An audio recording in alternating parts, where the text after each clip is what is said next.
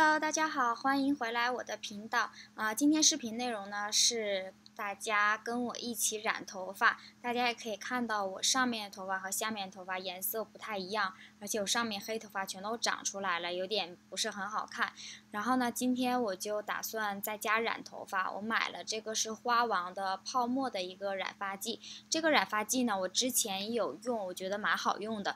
它呢，就是说不会让你的头发感觉到特别干。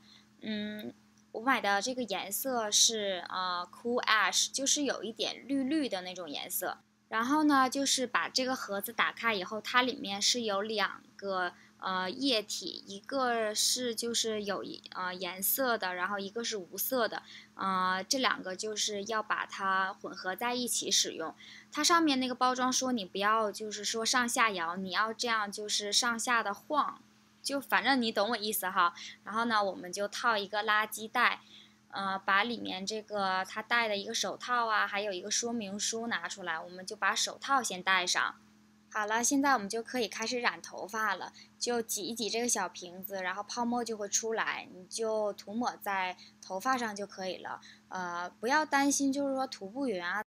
因为这个染发剂，说实话，真的非常非常简单，一点技术含量都不需要。你只要就是说发根涂多一点，发尾涂多一点，这样就可以了，很简单，很简单。